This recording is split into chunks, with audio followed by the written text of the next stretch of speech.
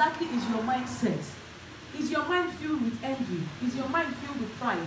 Is your mind filled with hatred for your neighbor?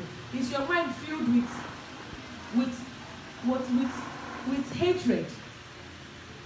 When you have this kind of state of mind, there is no way, there is no way, there is no way Christ will come into such such homes, such hearts.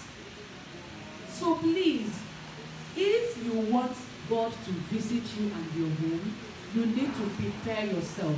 You need to prepare your heart. Just as the way you prepare your house, you prepare food, you clean your compound for the visitor that is coming to see you.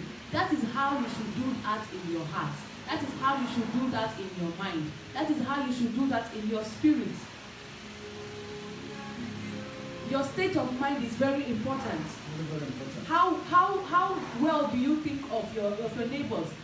Some of you you you smile to your neighbors, but behind them you you mock them. Behind them you stab them at the back.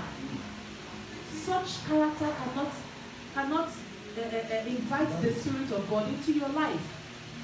That's what I just wanted to to throw more light on and to explain. So my dear brothers and sisters, I pray again that we all will strive. It is not going to be easy.